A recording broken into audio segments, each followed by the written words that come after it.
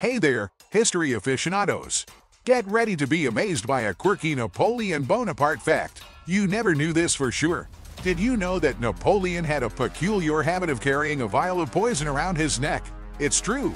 He believed it would ensure he'd never be captured alive. Join me as we delve into the intriguing life of this legendary figure. If this fact intrigued you, don't forget to subscribe and rate the video. Leave a comment with other curious facts about famous leaders you'd like to uncover. Till next time.